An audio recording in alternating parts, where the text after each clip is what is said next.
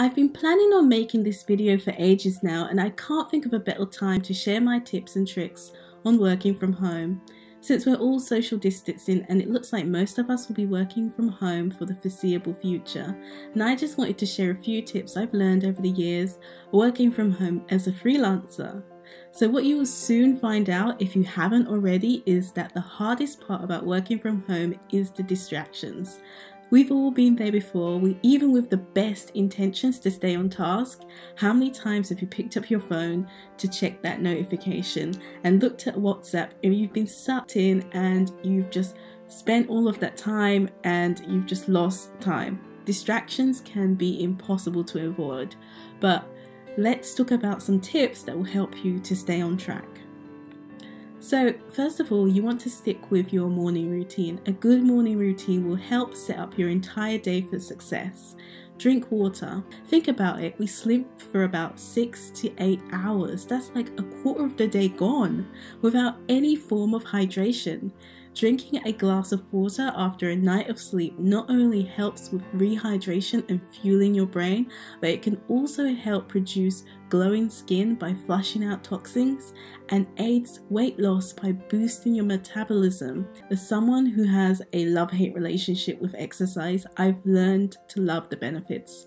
Before work, I try to squeeze in some form of physical activity. I'm not a professional athlete at all, and I don't really like exercise, but my body seems to notice that it doesn't like it when I don't exercise and I get a spare tire around my stomach.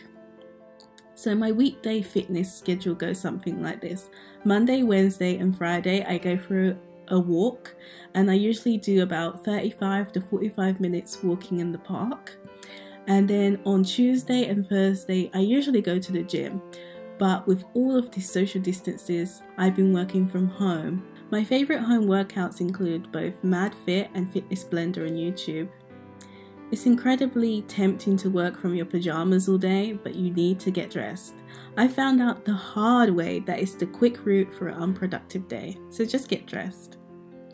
Make sure to create a designated workspace somewhere where it's just separate from your bed and where you can get some things done. So try starting with a to do list. Writing out a to do list every morning will make the day look less daunting, more manageable, and will help you to stay focused on each task. I block out a general structure of my day on Google Calendar and then I use task sections to write down what tasks I have to do. I start out with big tasks such as social media and then I do little subtasks such as start the new order or work on client images, edit photos, etc. This is something I've been doing to stop myself from getting overwhelmed by everything I have to do, something I've struggled with quite a bit in the past. Take breaks. Audiobooks are great to listen to on walks, while having lunch, while doing the dishes. They're also great for avid bookworms who don't want to pull themselves away from an amazing story but they don't have time to be buried in a book. There are several ways to enjoy audiobooks, but Audible is my favorite.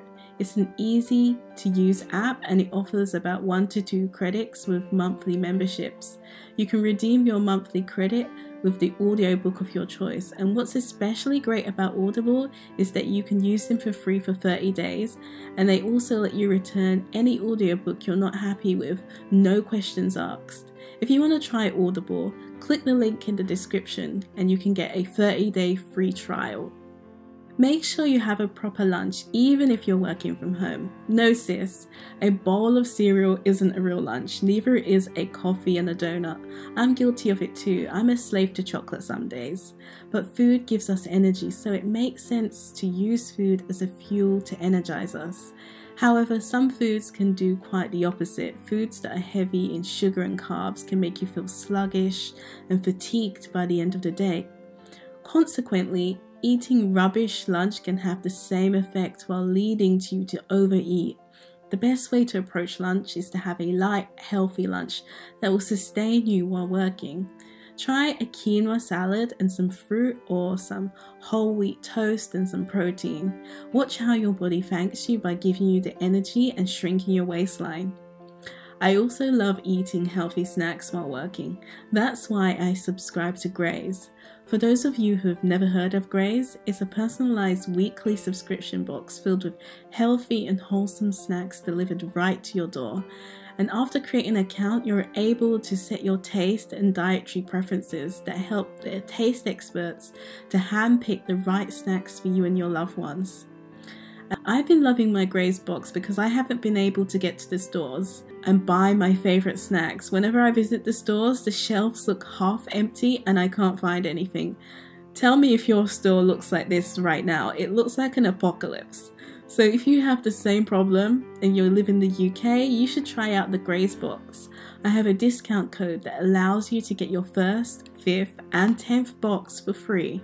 So the link will be in the description. And last but not least, set a strict schedule. I saved this one for last because it, I think it's the most important.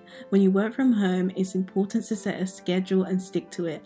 Having clear guidelines for when to work and when to call it a day helps me maintain a work life balance.